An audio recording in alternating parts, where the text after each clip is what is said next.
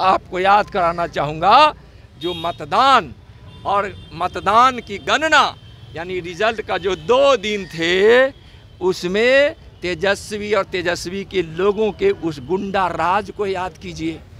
लोग कहने लगे थे, आज पच्चीस हज़ार दे दो, नहीं तो दो दिन बाद तो तेजस्वी मुख्यमंत्री बनेंगे, तुमको पच्चीस लाख लगेगा।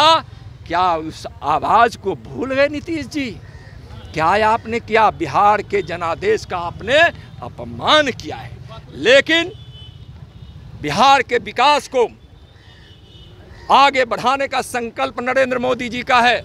जिस प्रकार से पूरे देश में विकास की गंगा, विकास की गंगा भगीरथ प्रयास से नरेंद्र मोदी जी की बह रही है, पहुँच रही है, बिहार में विकास की वह गंगा बहाने का, हर प्रयास होगा।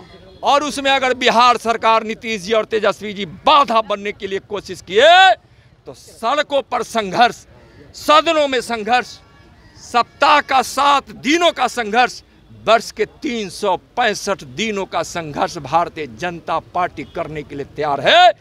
हम बिहार के विकास और बिहार की जनता के हित के लिए, बिहार के वैभव और इसकी मर्यादा के लिए हम दिन रात परिश्रम करने वाले लोग हैं। बिहार को हम बेहाल नहीं बनाने देंगे इनको। मैं बिहार की जनता को मैं वचन देता हूँ कि नरेंद्र मोदी के नेतृत्व में बहने वाली विकास की गंगा और बढ़ता हुआ देश के साथ बढ़ता हुआ बिहार में बाधक अगर बनने की कोशिश किए तो हम ईट से ईट बजा देंगे। पलटू राम कहा जाता है पलटू राम पलटू पलटू राम कहिए भटकू राम कहिए भ्रष्टाचारी से समझौता करने वाले भटकू कहिए या कुर्सी लोलूप कहिए, जनता को धोखा देने वाले धोखाबाज कहिए, जो कहिएगा शब्द शब्द ऐसे उनके लिए जायज़ ही होगा। धन्यवाद।